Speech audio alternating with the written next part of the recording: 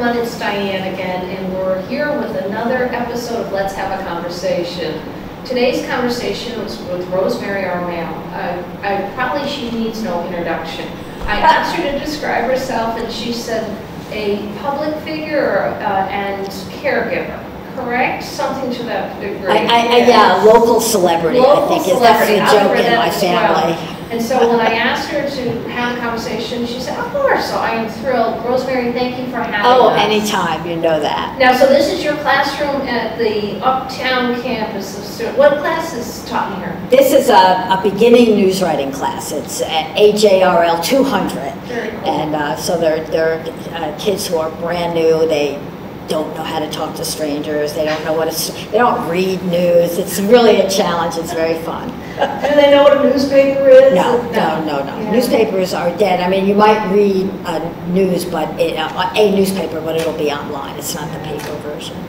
Yeah, It's funny, I I still like my hard copy newspaper. And You are a dinosaur. I, I know I'm a dinosaur, and, uh, so they're having trouble getting carriers. So it's at least twice a week I don't get my newspaper, Yeah. Which is like, and it's always like Thursday and Sunday, which are usually The, the the ones you want to read the most, especially Sunday, yeah. Yeah, yeah. Yeah, the newspaper business, that was one of the failings when they lost all the little, usually boys, uh, because people who didn't want newspapers didn't want to disappoint the carrier, so they would keep it on. But then when the, when they lost those, it was like, okay, no, I don't need this newspaper every day. Yeah, It- I It didn't actually help. carried uh, Times Union at the age of nine. I can't Oh, even wow. believe my parents like put me on my bike and with a little bag over your shoulder and off you went. and- Well, we talked about that, how, you know, when we were kids, you'd just disappear, you'd go out of the house in the morning, ride your bike all, all over town, parents didn't know where you were, you just had to be home in time for dinner, That's right, right? didn't worry. And we never do that now, we would never let our kids do that. So Rosemary, where are you originally from? Uh, right here in Colonie, I was, uh, I was actually born in Troy, New York, but when I, before I began kindergarten, my parents bought the house on Sand Creek Road where I still live now. Okay, so you're 12205. That's it, All right, very, very cool. So you went to Colonie High School? Colonie Central, yes, All I'm a. Raider. You're a Raider. What, do you mind telling us what year? you- No, I graduated in 68. Okay. It's funny, so at Colonie Seniors, we have a ton of people from the Colonie area originally. I'm the only Shaker grad. Everybody else is. Oh, we didn't like Shaker. You were, you were the uppity rich kids. that feeling was mutual, well, very, nice. That's funny, I'm the only Shaker grad. So you went to, you graduated in 68. Did you go right on to college? I, I did. Um, I, I knew, like, from the sixth grade that I wanted to be a journalist, and the only undergraduate program of note, at least at that time, was Syracuse. So I had a scholarship, and I went to the Newhouse School at Syracuse University. I graduated from there in 72. And um, my college was notable. I think it's very comparable to what my kids are going through now, because that was uh, 1970, May of 1970 were the Kent State shootings. And there were demonstrations and uh, shutdowns of campuses across the whole country, including Syracuse. So I, I now am so empathizing with my students who in May of 2020 just went home for spring break and we never came back. It feels so much the same. Yeah, I know, it, it was sad. I feel so bad for college students, high school students, when the pandemic came and the decision came to shut everything down and send everyone home for an unknown amount of time. I don't think it was fair to everybody, the psychology of it, the kids finishing up, looking forward to kind of that hurrah moment and it all going away. Well, I I remember when it first happened, and you know, I was on my way for a spring vacation, which I took. It was the last time I went out of the house for you know 18 months after that. But um, it was like, well, this would be cool. You know, you always wish for like a snow day. This is like a super snow day. But I couldn't believe that it went on past like two weeks. I thought would be the max. And uh, here we still are, it might be again, but yeah, it really has impacted some of these, these uh, students. I had a student come into a class 20 minutes late the other day, which was really annoying. I go, okay, so what gives? Well, she was a sophomore. She has never been to the campus before yesterday when she did this. And it's confusing if you know Albany State, all the buildings look alike, and she got lost. So, yeah, it- the impacts are strange and deep. Right, Yeah. no, I would agree, and it's funny, because when it did happen, we were thinking the same thing, oh, it's two weeks. Okay, maybe September, and then it just kept going, and going. So you didn't leave your house for 18 months? Um, very little. Uh, I mean, I'm not going to say never because you, like everybody else, I built like a bubble of people that I felt comfortable. So my significant other lives in Western Pennsylvania, and I would drive over once a week. We'd have dinner. I'd stay over and then come back the next day. But see, I also take care of my mother. That's the caregiver part. She's almost 96, and it's very difficult to make her understand what was happening. She would say, let's go to dinner. You want to go out? And I go, Mom, we can't. She goes, oh, I'll pay. Like it was a money issue, you know. So she never quite got that. And um, the isolation, um, you know, she does much better when there's family around and friends. And uh, my house was always a hub where people, and we had none of that. And it, it has had an effect on her. Oh my goodness, yeah. People aged more than the time that actually has gone by. Now, think at the age of 96, everything she lived through. Think about it. I mean, a lot.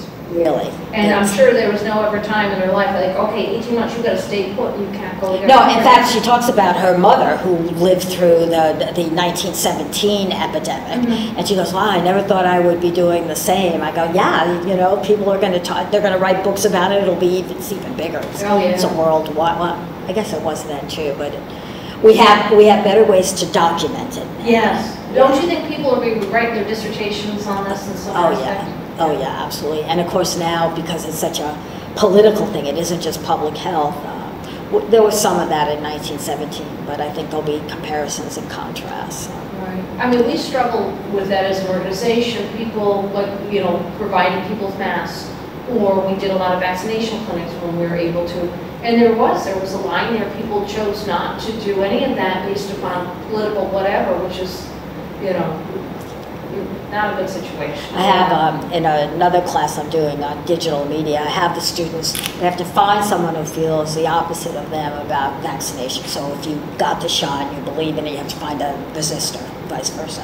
And they have to speak to them respectfully and civilly and try to find out why they think the way they do, who they have listened to, um, what, if anything, evidence or person could change their Sure. mind, and try to get dig deeper into why this public health crisis has become, uh, you know, so politicized and so fraught with. It's it's it's just tragic. It is. that's a great assignment, though. Who is influencing?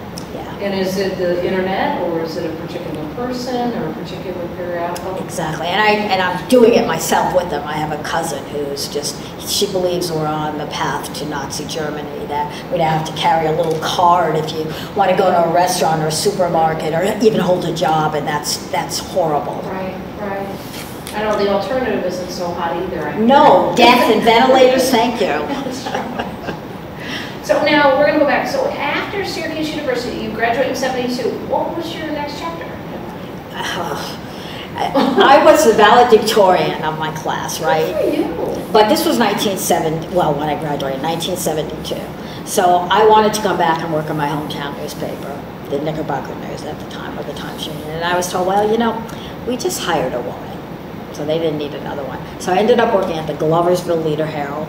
Um, I had a license, but I had been at college, I had never driven, so I started every day, which is the most memorable thing to me.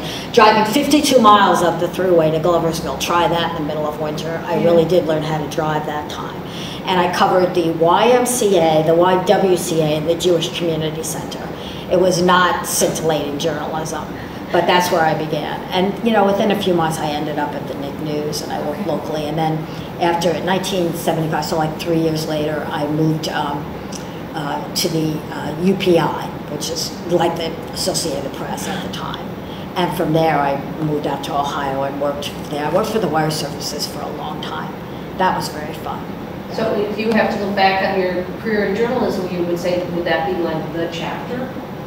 The chapter doing that. Oh no, I went I went on to bigger things in Oh. journalism. My my roots were small. This was journalism has like many things sped up, mm-hmm. and so you can get out of school now and go right to name it the Wall Street Journal, the New York Times. You could not do that in the '70s, especially if you were a woman, and they didn't hire minorities in.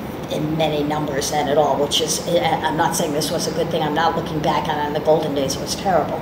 But you started at small papers and you moved up and up and up, and uh, the newsrooms were filled with a mix of people. There were people who had been there for 50 years, and they were the, the models. And you, and, But now you go into newsrooms, they're not like they were. There, there's fewer people. Uh, they're much more diverse, but they're all young. It's not a. It's the newsrooms that I remember and think of fondly don't exist anymore. Well, And- people retired from those newsrooms. Or were, they took layoffs. you know, Yeah. They, they just were booted out because they, they earn too much money. Journalism is, it's, it's an, an economic problem right now to be a journalist. It's hard to be a journalist financially. I was very lucky. I, my whole career was as a journalist. I got to see the world, um, did met wonderfully interesting people, and worked on big stories. And there aren't going to be too many people who are going to be able to do that in the future. I think it'll be a a part-time or a part, partial career, you move on to something else, or you figure out a way to do it in new and different ways. CNN is hiring like 200 people, the Washington Post is hiring, but they're not straight journalists anymore now either. They're kind of like um, online engineers as well, podcasts and, and uh, data journalism. It's just changed. I'm not sure I'd be a journalist if I were just starting out again these days. It's changed that much, yeah. Yeah. Well, if you think about it, uh, we're back to how do people get their information? And is that information they're getting even accurate? You know, who's, who's influencing it? Why do they go to a particular station or, you know, a particular podcast or, you know, how accurate is that? Yeah, well, those the ethics of journalism. I'm teaching a whole course on this. I'll you? sign you up if you're interested. Yeah, but it's, it's amazing, because, so in our lifetime, people, you know, you always, I know when I took writing classes when I was in college, they talked about primary source, secondary source, you know, that you truly had to make sure whatever you were stating, that you didn't plagiarize, and whatever you were stating had some fact behind it. Right. Well, that was when you held on to the story until it was fully developed and Mhm. vetted. Right. You don't do that now. You lose the story if you do Right. it. And everything has become like, as we were talking about with COVID, it's become politicized. So if you hold up a story on Hunter Biden and his laptop or on Nancy Pelosi trading on insider information, well, Breitbart isn't holding back. The, the uh, Twitter is not holding back. And so you look like you're taking a biased stand that used to be fact checking. Now it's somehow separate from writing a story or coming broadcasting a story. But you know, for me, I went into journalism, and it was after Watergate, and um, I wanted to change the world. And journalism seemed like a path that you could do it if you only told people more information. If you told them the truth, that they would they would rise up and demand justice. That's journalism of outrage and investigative. And we've found in the digital age it's not true. The more you tell people facts, they say, that's not facts, that's your opinion. And they dig in and trench their own position. So I, I, I think if I wanted to change the world, which I still would like to, um, I, and I was starting over, it would be um, politics or law. I think those are the, the areas where you can make a difference these days. I'm not so sure. Some journalism does, don't get me wrong, and I, I, I so admire my investigative colleagues. But um, it's, I, I don't think I would do it today. It's interesting you say politics or law, 'cause I look at politics and I feel like that is so weighted one way or the other, and sometimes the truth doesn't come out in that arena. And then law, I mean, you see so many lawyers who are censured because of what they're Oh. doing or what they shouldn't be doing. What they, oh, yes, I've read those stories too about Mr. Giuliani. You know, Um, it's true, but, you know, the Thurgood Marshall is the model. Uh, uh, Sandra Day O'Connor, Yeah. uh, Ruth Bader Ginsburg, my hero. Um, they, they change life for, for millions of people because of the power of their argument in a court of law. That's very, very appealing. And the same with the politician. Yeah, there are some, well, even the bad ones. Let's take Cuomo. He's certainly gotten his comeuppance. And yet, marriage equality and gun regulation and equality for women are a fact in New York State because of him. As a politician, you can change the world. I'm just curious what your opinion is on term limits. I, I- you know, I often joke if I went back to finish my doctorate, I would do something about the life cycle of a politician. And the only thing I would do is somebody says, oh, I want to be a public servant. I would measure the circumference of their head. And they won elected office, large that got. Because I, I do, I think sometimes power is corrupted. And- Uh, Always. I mean, that's Machiavelli figured that out how many centuries ago. Uh, I am in favor of term limits. Yeah. Um, I, I, I'd like to see some creative use of it, like you can only do two terms at a time and then take a break and come back, that might be interesting. But, um, you know, even FDR, he should not have run that last term. He's, he's the one who, who brought it in on the presidential level. He should not have run that last term. He was a dying man, and he knew it. Um, and he felt that it, it would be more dangerous to leave and let someone else come in to, to execute the conclusion of the war. Uh, that's hubris. That's that's pride. It was it was a the country was a mess after that, and we're lucky that Truman was able to deal with it. But what what if it had been someone new and fresh? And, Right. um, I, I- I- yeah, uh, almost every, I can't think of a person who's been, even Nancy Pelosi, who I much admire. Um, I was calling for her to leave after Obama. She, she lost a lot of seats in, uh, in the House, and she must be responsible for that. Um, she was fabulous with Trump, um, but I think it's time for her to go too. And Nancy Feinstein, oh my God, that's a sin. She's senile. She should not be. She should not be in office at all. She was a great woman, and the end of her career is now tarnished. And it's not just women. Orrin Hatch did the same thing.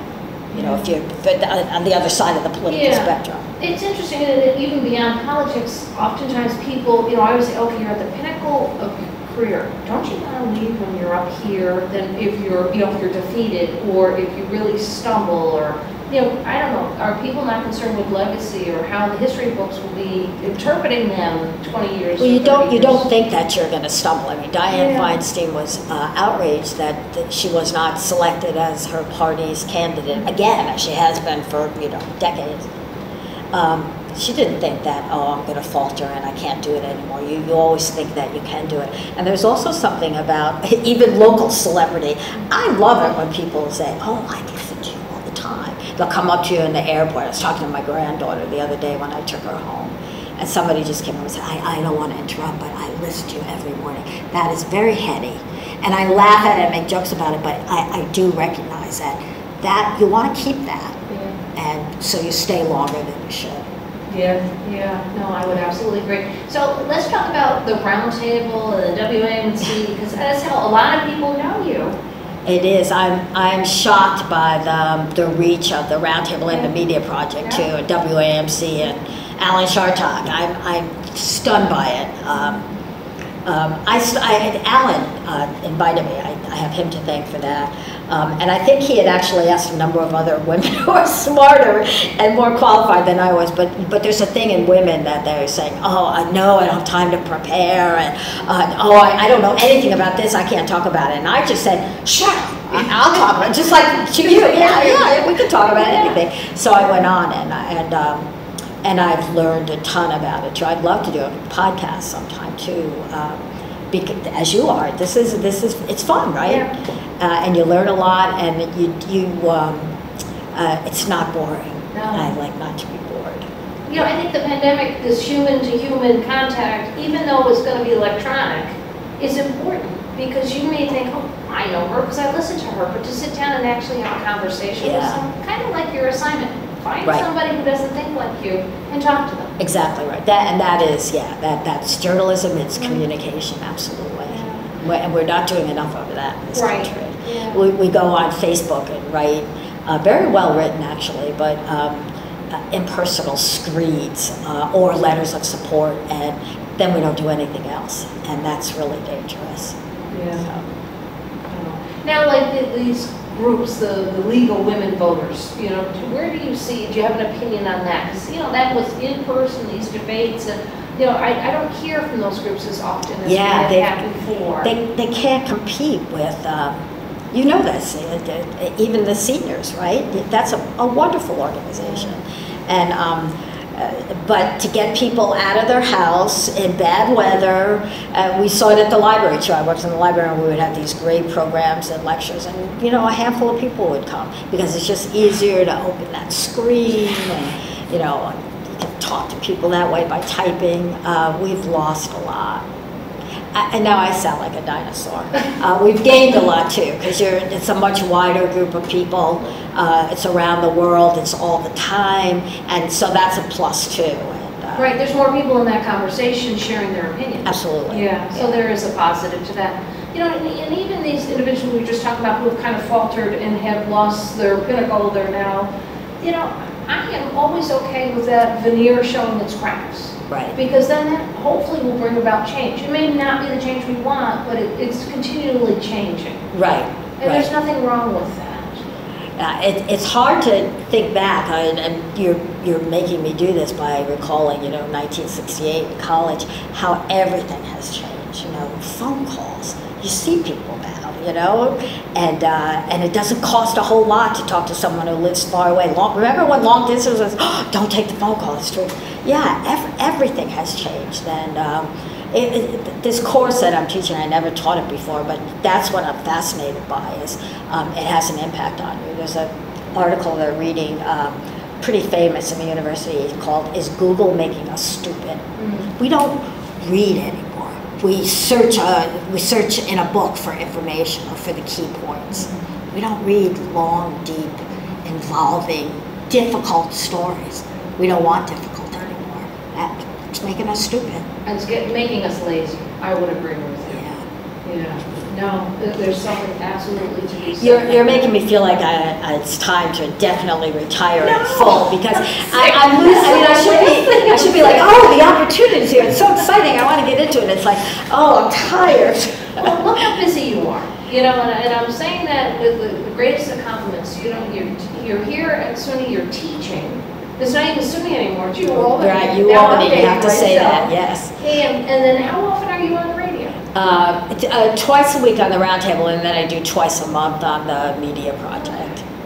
But Yeah. that's, you know, that's a busy schedule. And you're a caregiver. Yeah, So now, that's the real job. I'm sure your mom depends on, upon you a lot, so there's that whole, I, I don't think there's a harder job in this world than a caregiver. Yeah, Whether it's for children or adults, for you to be that person responsible for another. I, find a lot of similarities. I have three kids; they're all grown now, but I, I it, it does recall those days where it's not really difficult work. You know, it doesn't require like a, a, an advanced degree or special training, but you're on all the time. And um, I'll find that my mother will go in for a nap, and it's the same way as I felt when those kids went down. It's like, yes, a half an hour to myself. Oh, yes. and so, you know, just uh, keeping up a conversation and um, um, making sure there's food in the house and cleaning up after the cats. And yeah, it, it's not difficult. It certainly is not the.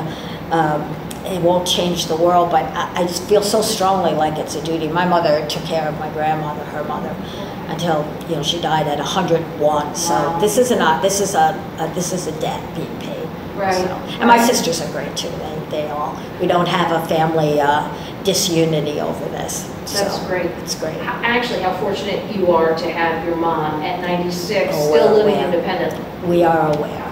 Yes, Yeah. we know that. But I think a caregiver needs to truly be empathetic and needs to be a saint with their patients. Um, yeah. It- that- when you make um, a sacrifice, like I quit working overseas and came home and I saw how, how much my mother needed it. Um, when you make a sacrifice like that, it has to be done, and my mother, this is a lesson from mom, graciously and fully. And that means like, um, okay, this was really hard today. I'm not to bitch. Can I say bitch on your? You can't bitch about it or complain. You can't. Um, uh, you can't say, "Oh, woe is me. I wish it were different." Um, so, but the, the sisters are also good at this because they realize what a good deal they had. If they were paying for in-house, man, that would cost them some money. I'm protecting their legacy here, their bequeath. Um, but you know, they're, they ask all the time, "Is that- "How's it going? Do you need a break?" And they'll come down. I, I just went to a wedding in Utah, and another sister came and stayed with mom. Then, so. Yeah. Yeah, respite's important. It really is. Yeah.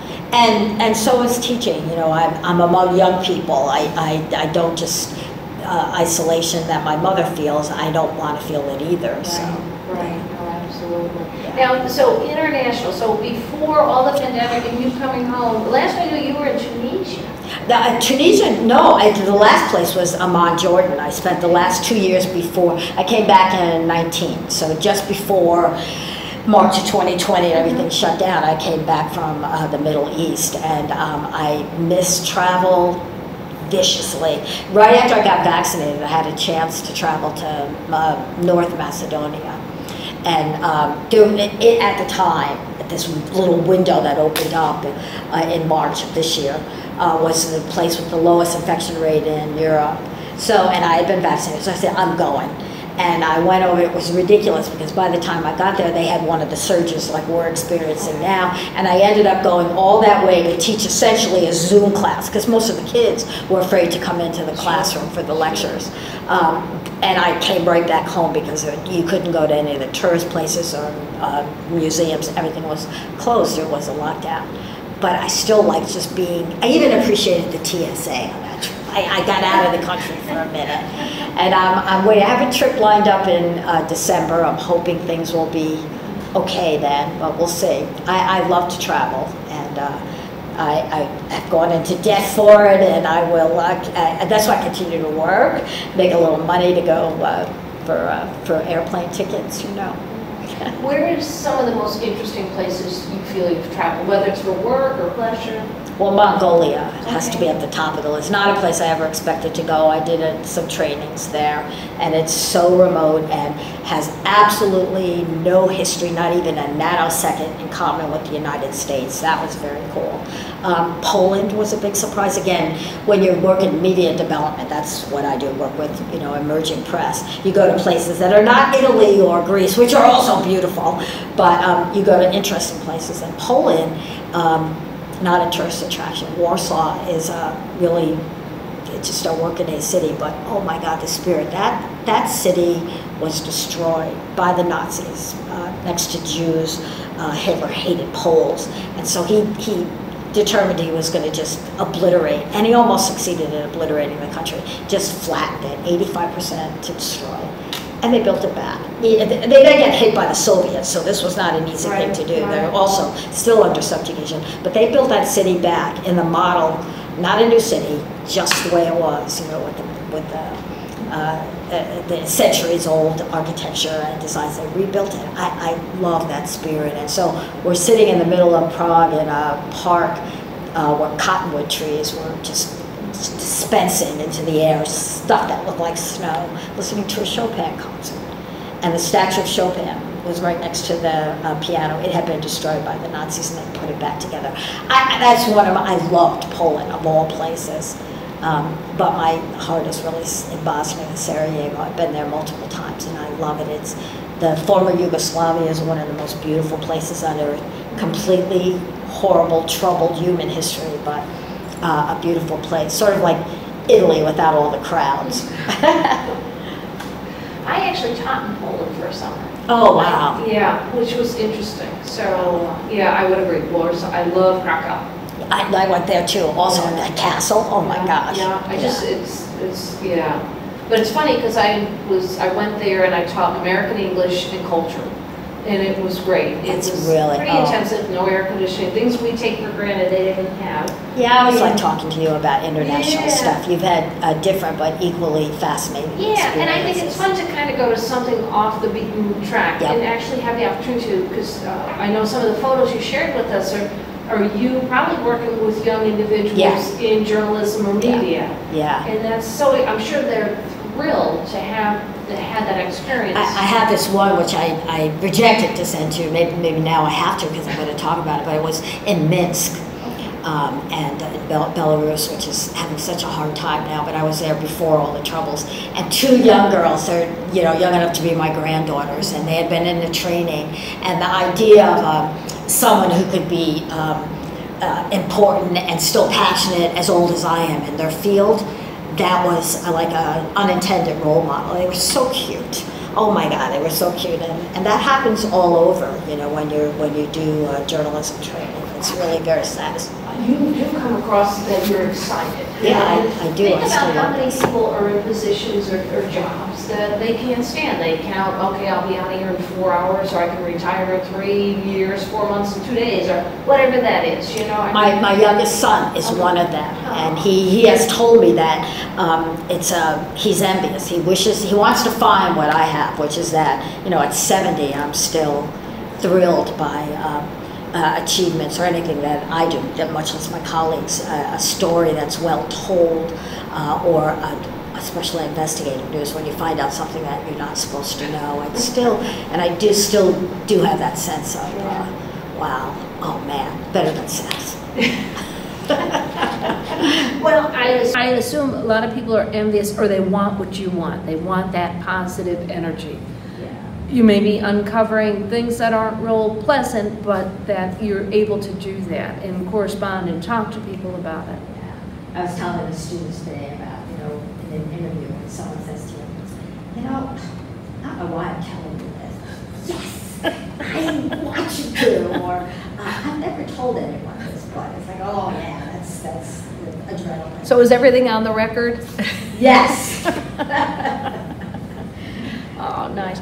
What advice would you give uh, a young person or even an older person who's thinking about maybe, I'm so unhappy where I am and I'd like to do something else? What advice would you give them? Oh, wow. And advice maybe that I got once uh, from, it was an editor of Jet Magazine called. Always gave a lecture. She said, um, in life, should I stop?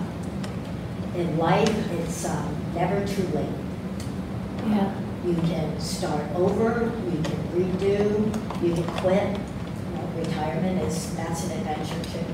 Uh, it is never too late. So, but you have to kind of know yourself, like what is it you want? Right, right. I have, my mother never wanted anything more than to raise a big family and have them all successful. So she raised five daughters. We're all, I think my sisters are amazing. And, um, but that wasn't enough. Like, oh, I didn't do anything. No, you just reached your first goal. You didn't set a second one. So what do you want to do now? Right. And she told me recently she had never seen an owl. So I dragged her out, my nine- 95 at the time year old mother, in the middle of winter to go see a woman up in Rotterdam. Who had an She- owl? She rescues owls. Was fascinating. But then it's off. Exactly. See, that's so cool, yeah. I, you know, I don't, think- regardless of your age, I think having chapters. Yeah. Because, you know, sometimes you think, oh, this is what I want, and then you realize, yeah, this isn't, mm, some chapters are short and don't end well, and other things are long and end beautiful. Okay, now that's good advice. Uh, The next time I get asked a question, I'm going to say, well, as Dianne said once. Well, You know, you sometimes you're recruited, sometimes you're fired, you know, I mean, it's like, depends on, and that's okay, Yeah. you know? Yeah, If you can have enough courage or strength to say, I, I can carry on, you know, this, I will find my purpose, or Right. I'm happy. right, right. Or is there a purpose, you know, that um, my my mother's facing end of life, so I think about it too. And she's she keeps saying, "I feel so useless." Isn't that an interesting? I mean, it's sad that she says that, and you know, of course, we jolly her out of it as you're supposed to. But isn't that an interesting? Who is useful? You know, you you are temporarily if you're a mother and you have young children. Of course, you're useful, but really, humans don't serve a real use, do we? Right, right. And a lot of ours is maybe pre-described where we're feeling more important than we really are. Yeah. that makes sense. It does make sense, yeah. Yeah. So I, I'm beginning to think that the secret of life is finding things that make you happy, the small joys, and you don't have to have a bigger purpose. That's just like an exercise in futility to try to find that. It's so funny you say that. There was something on, I, sometimes I wake up in the middle of the night, I can't, you know, go back to bed. And I turned on PBS and they had this documentary, this, this graduate student followed this farming family. They got into dairy farming, young couple, they had like three or four kids. And it was like they were losing their shirts because, you know, everything costs and milk isn't, you know, Yeah, they don't have a lot of, and then they tried to go into cheese making, and they were doing well, and then something broke down. I was like, oh my gosh! But they struggle through it. And the, this young woman, this mother, she said, you know, that what gets me through the day is everything I do, I try to find some joy in it. yeah, And I think, you know, true. as simple, especially during this pandemic, and whether we're going to shut down again, or wear a mask, or whatever, nobody knows what tomorrow's going to bring. To find joy in what we're doing. Oh my gosh, yes. Okay, so I found gardening. I mean, did you know that vegetables have beautiful flowers on them? I, I, I didn't know that. I, I've been eating them all my life. I didn't know. I'm growing them now. I, I just love it. And um, eating, oh my God, ice cream can make you smile now. There's always joy in ice cream. So. Yeah. Yeah, Now, what are you growing in your garden? Oh, um, well, I just signed up for the Master Gardener program, so ask me that question. I know I'm so excited, and I hope I have the time. I'm gonna that, talk about being busy. I'm Yeah. gonna be up tonight going through all the paperwork. Um, but I just um, I have a big lawn, and I hate grass. I hate mowing it. It seems like such a waste of time. So I just had a neighbor with a rototiller just dig up like a, it's about maybe a little bit bigger than this desk I'm sitting at. And I just threw in a bunch of plants. And there's tomatoes and potatoes and cabbage and eggplant and peppers, three different kinds of tomatoes. And I said, okay, well, whatever grows, that'll be great. They'd all grow. Oh, It's a oh. jungle. It's a freaking jungle in my, in my lawn. I love it. So next year is going to be twice as big and we're going to do beans and corn and pumpkins. Well, depending on what you grew this year, because of all the heat and the rain. It's amazing. Oh, I, yes, I should have brought you a bag of tomatoes. Yeah. Cucumber, squash. I got all of it. It's amazing. Good for you. You can set a little farm stand That's what my mother wants to do. Would, uh, do- Just put it out there. I And put a go, little give it away. She goes, no, no, no, we'll just sell it. Yeah, we'll make some money. I Well, I want to thank you for taking the time to have. Oh, this was fun. Yeah, it was. It was incredibly enjoyable. I'm, I feel very fortunate to have you as a friend. And I Me think too. the SUNY system or the UAlbany system should be fortunate they have you as Oh. a, a teacher. And thank goodness you're still in WAMC because a lot of people listen because they want to listen to you. Thank you. That's really nice. So thank you. On behalf of our staff and board directors, Rosemary Armao, thank you for having me. My pleasure.